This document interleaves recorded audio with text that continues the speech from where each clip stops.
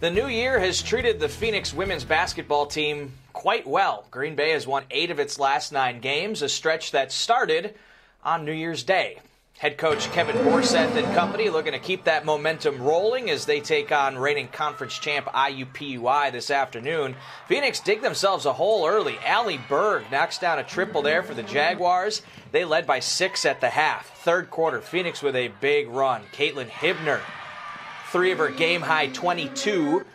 Then off an offensive rebound. Check out the touch pass here from Megan Pingle. That is just perfect. Hibner cashes it in. GB outscores the Jags by 10 in the third quarter to take control, and they keep it rolling in the fourth.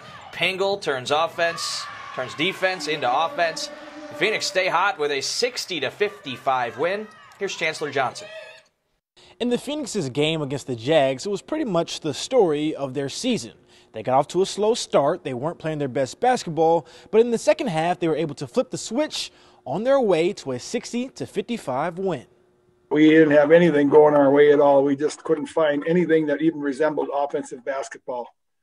And I'm not sure exactly what happened, but we were able to turn it around, obviously, get some points on the board. A lot of effort, a lot of energy in that game. You know, you really got to put your mind to something and you've got to, you just got to grind. You, you, there isn't, you know, failure really isn't an option. It's not.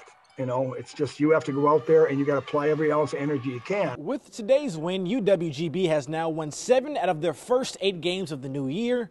Perfect as the calendar flips from January to February and inches closer to the most important month of college basketball, and that's the month of March. At the Kress Center, Chancellor Johnson, NBC 26 Sports.